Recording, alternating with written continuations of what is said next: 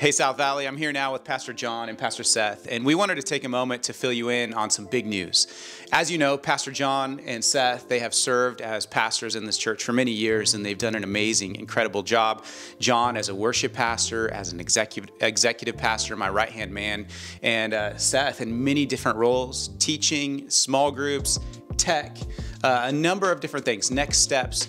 And uh, we wanted to let you know that God has called them into a new season of life and of ministry. And so we know this is a huge announcement. It's beginning in the new year. And so we wanted you to hear from them personally. I'm going to start with Pastor Seth. He has some exciting news about a new job that he's taking on in Modesto, working with a GHC church, which is what we're also a part of at South Valley. So, Seth, fill us in on that. Yeah, so back in March of this past year, um, I had been asked to go speak at this church, the Well Community Fellowship in Modesto. And um, I had never wanted to get into a senior pastor role before. I wanted to do different pastoral roles, eventually go into teaching.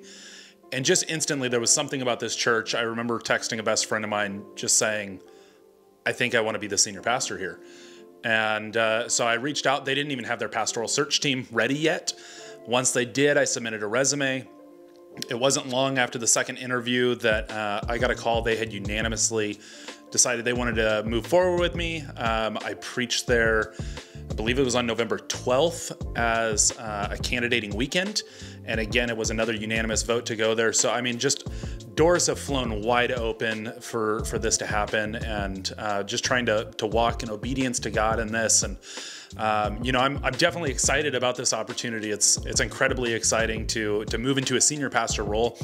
Uh, but it's also bittersweet because South Valley has been home for, for a number of years. And, um, you know, I've loved these people. I've loved pastoring here. I've loved being on this team and uh, being a part of this season and, and watching things grow. So it's, uh, it is bittersweet, you know. Um, I still have family here. I'll still be around uh, at times, but you know, my my family, immediate family, is moving to Modesto, and and we're getting ready for a new season uh, in in senior leadership, leading this church into the future. So you could be praying for Pastor Seth and his family. Uh, we've been praying for him through this process. He came forward and said, "Hey, I, am interested in this." We actually, you know, helped send him out there to do some candidating weekends. We knew this was a possibility, and we know it's exactly what God wants him to do, and so we're 100% behind him. We also want you to hear, though, from Pastor John uh, about some changes with his family and uh, his time here at South Valley as well.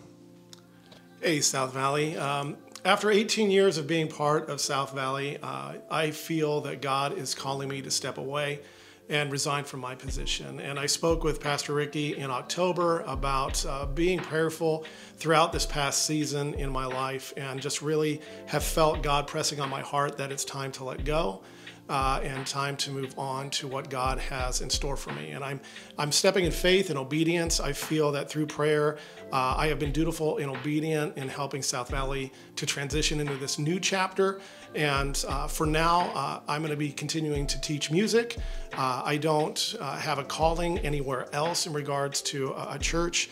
Uh, but I do feel that God is calling me uh, to be prayerful about this next chapter of what He has in store for me. I don't know what my future holds, but I do know who holds my future, and I praise God for that.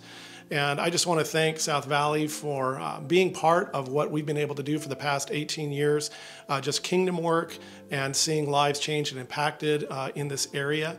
And uh, just thank you for all your love and support. And my family thanks you as well and just uh, having my kids grow up and, and all the love that you've given to them. So I'm looking forward to what God is going to do. Uh, it is bittersweet, like Seth said, because uh, this has been our church home. And uh, for now, I'm stepping out in faith and obedience to see what God has and just appreciate your prayers as we step out in faith in this next step of our journey in life. Thank you, Pastor John.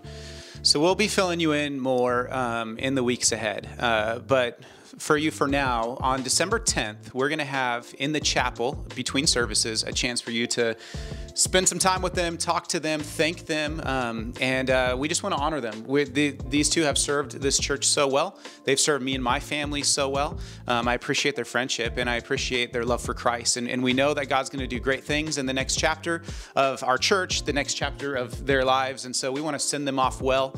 Uh, so if you would like to stick around on the 10th, spend some time with them, uh, hear them, hear their story a little more, and then uh, we'll fill you in more in the weeks to come on what it means for the future of us and and uh, what might be happening uh, in the future with with different staff members and things like that, potentially adding to our team. Those are all things that we're going to be praying through. So we love you, and uh, we'll keep you informed. And God bless. We'll stay in touch.